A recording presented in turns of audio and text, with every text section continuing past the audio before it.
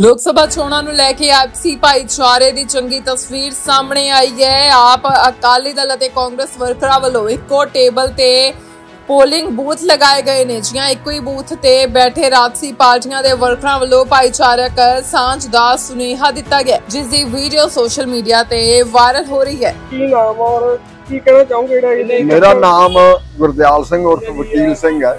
ਵਕੀਲ ਸਿੰਘ ਤੇ ਜਾਣਦੇ ਸਾਰੇ।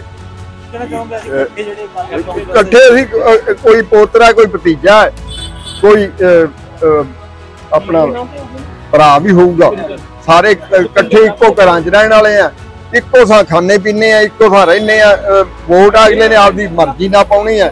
ਜਿੱਥੇ ਮਰਜ਼ੀ ਪਾਵੇ ਕਿਸੇ ਨੂੰ ਅਸੀਂ ਰੋਕ ਨਹੀਂ ਕਿਸੇ ਨੂੰ ਟੋਕ ਨਹੀਂ। ਕੋਈ ਜਿੱਥੇ ਮਰਜ਼ੀ ਪਾਵੇ ਲੋਕਾਂ ਨੂੰ ਕੀ ਸੰਦੇਸ਼ ਦੇਣਾ ਚਾਹੋਗੇ ਇਹ ਕਹਿੰ- ਅ, ਕਦੇ ਲੜਾਈ ਨਹੀਂ ਹੋਣੀ ਚਾਹੀਦੀ ਇਹਨਾਂ ਚੀਜ਼ਾਂ 'ਚ। ਭਾਈਚਾਰਕ ਸਾਂਝ ਸਭ ਤੋਂ ਜ਼ਰੂਰੀ ਹੈ ਜੀ। ਹਾਂ।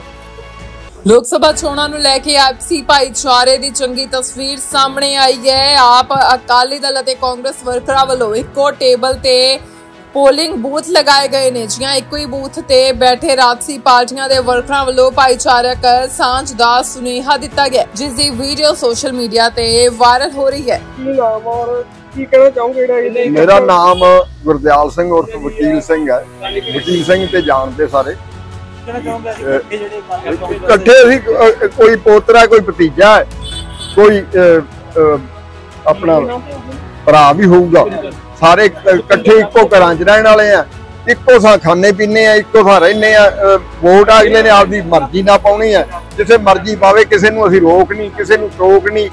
ਕੋਈ ਜਿੱਥੇ ਮਰਜ਼ੀ ਪਾਵੇ ਲੋਕਾਂ ਨੂੰ ਕੀ ਸੰਦੇਸ਼ ਦੇਣਾ ਚਾਹੋਗੇ ਇਹ ਕਦੇ ਲੜਾਈ ਨਹੀਂ ਹੋਣੀ ਚਾਹੀਦੀ ਇਹਨਾਂ ਚੀਜ਼ਾਂ 'ਚ। ਭਾਈਚਾਰਕ ਸਾਂਝ ਸਭ ਤੋਂ ਜ਼ਰੂਰੀ ਹੈ ਜੀ। ਹਾਂ।